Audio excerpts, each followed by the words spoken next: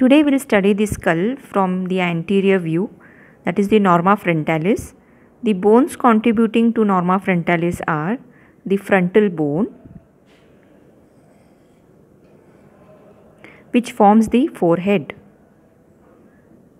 the right maxilla,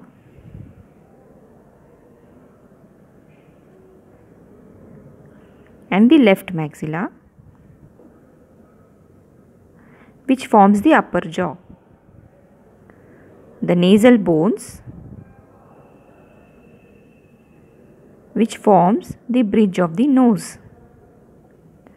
Zygomatic bones which forms the bony prominence of the cheek. Mandible which forms the lower jaw. Now we'll see the sutures seen in this view the internasal sutures, frontonasal sutures, frontomaxillary suture,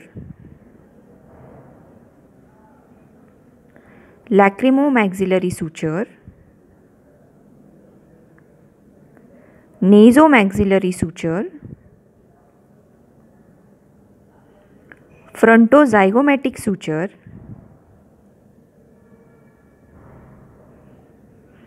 zygomatico-maxillary suture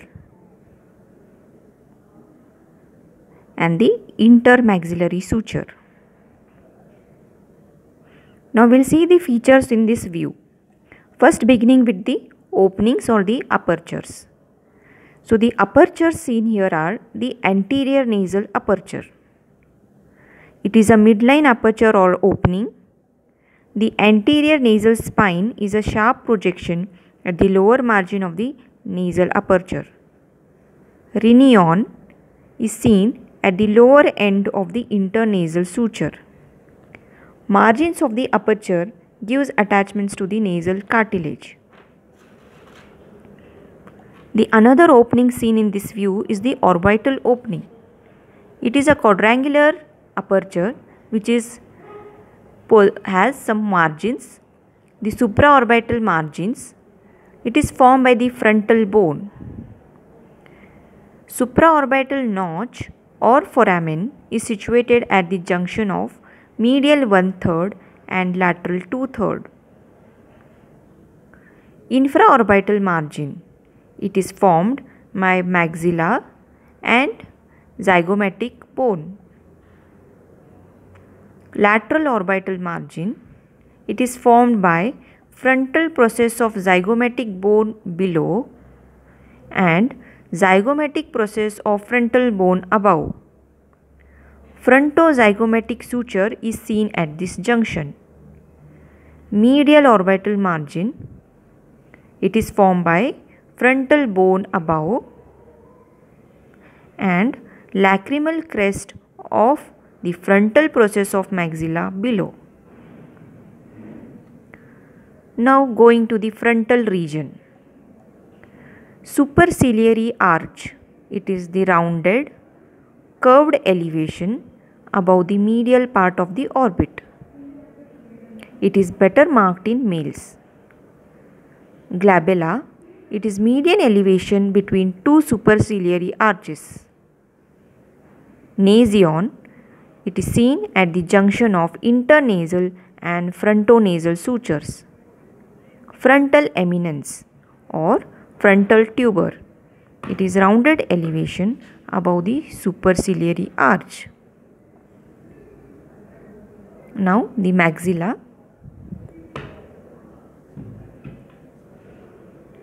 The infraorbital foramen. It is situated about 1 centimeter below the infraorbital margin. Infraorbital nerves and vessels pass through this foramen. Incisive fossa, it lies above the incisor teeth. Canine eminence, it lies just at the root of the canine tooth. Canine fossa, it lies lateral to the canine eminence. Frontal process, it is in between the nasal bone and the lacrimal bone zygomatic process it articulates with the zygomatic bone. Alveolar process bears a socket for the upper teeth. The zygomatic bones. It is situated lateral to the orbit. It articulates with the frontal bone above and temporal bone behind, maxillary bone in front through its processes. Zygomaticofacial foramen is traversed by zygomaticofacial nerve. The mandible, it forms the lower part of the facial skeleton and it will be studied as a separate bone later.